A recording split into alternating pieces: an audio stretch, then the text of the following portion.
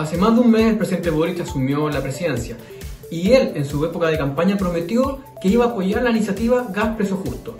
Más de 40 días han pasado desde que él asumió y hasta el día de hoy el gobierno sigue evitando mandar el proyecto a la Cámara. Hace dos semanas el ministro de Energía se presentó en la Cámara, en la Comisión de Energía, y se comprometió a darle celeridad al tema. Claramente no han ingresado ningún proyecto y al parecer faltan muchas semanas y tal vez meses para que hagan algo. El invierno está a la vuelta de la esquina, por lo tanto el gobierno se tiene que hacer cargo y el ministro no puede seguir escondiéndose y no respondiendo.